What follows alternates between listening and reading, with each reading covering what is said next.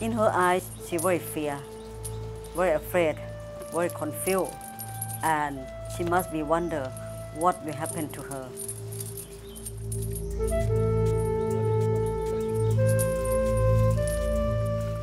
We get a story of Kabu about four weeks ago.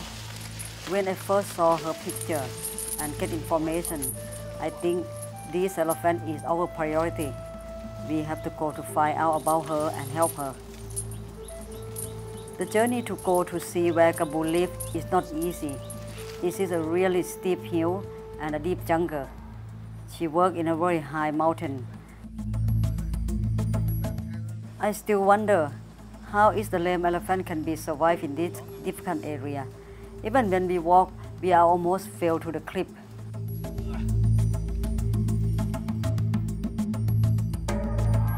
Kabu was born in the Karen village. This is a hill tribe that is looked after the elephant and they work elephant for the locking. On her young age, as the same every baby elephant who the mother work for the locking, they are still nurse, but the mother still working, so she follow her mother to work. Kabu injured only one left leg, the other leg is still okay until they force her to work to pull the lock. Then she have to use the right leg help to support during to pull the lock. After that, her other leg is turned to be lame and injured. You can see that now it's very difficult to walk. We managed to put Kabu on the truck and journey to Chiang Mai. When we found Kabu, I still found that the owner ride her on the back. And when I first saw him, I couldn't accept that. I started to tell him and yelling him to get off of the elephant because in that case, no one should ride her again.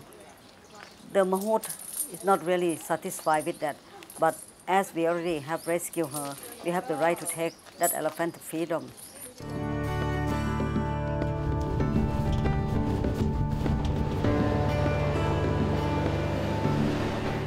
Basically, we're just um, calming her. We fed her. She really liked the bananas and the tamarind that we gave her.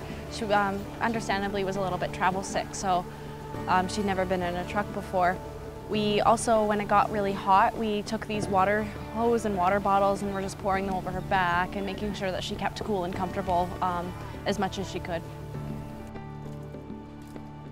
She got on the truck, she could tell she was surrounded by people who loved her and she was in better hands and she was obviously still really scared. Um, and it was a long drive trying to get her back. We rescue so many elephants. Most of them when arrive with us, they come with a mental problem. But Sim Kabu is worse than anyone, not just physical, also mental. She desperate, she's starving, she so fear with any anything that she see.